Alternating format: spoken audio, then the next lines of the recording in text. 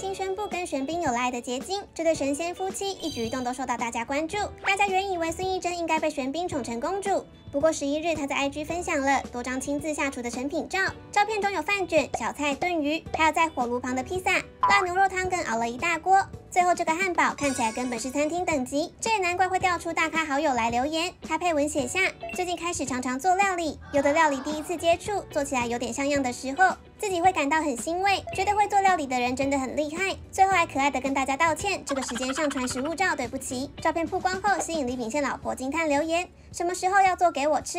李贤珍也说哇，想快点吃到。照片曝光后，吸引七十多万人围观，大家纷纷赞叹这个手艺实在太厉害了，玄彬太幸福了。